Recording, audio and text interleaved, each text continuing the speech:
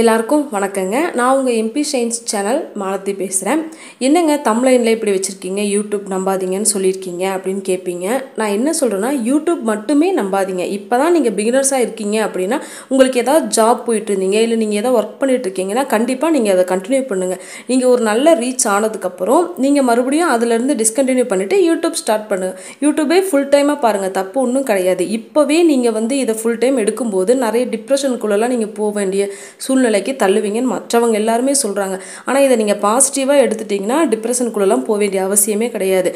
குழந்தை இப்போ பிறக்குதுன்னா உடனே நடக்க முடியாது. பத்து மாதங்கள் ஆகும். அதே மாதிரி தான் ஒரு வீடியோ போட்டிங்கன்னா ஒன்று ரெண்டு நாள் ஆகும் ரீச் ஆகிறதுக்கு. இப்போ இது என்னை எடுத்துக்கிட்டிங்கன்னா இது என்னோட அஞ்சாவது சேனல் நாலு சேனல்லையுமே எனக்கு என்னோடய சப்ஸ்கிரைபர் என்ன தெரியுங்களா? நாலு பன்னெண்டு மூணு ரெண்டு. நான் கைவிட்டுட்டேன். நான் அது சுத்தமாக நான் வந்து அந்த ஐடியாவிலேயே இல்லை. வெளியில் வந்துட்டேன்.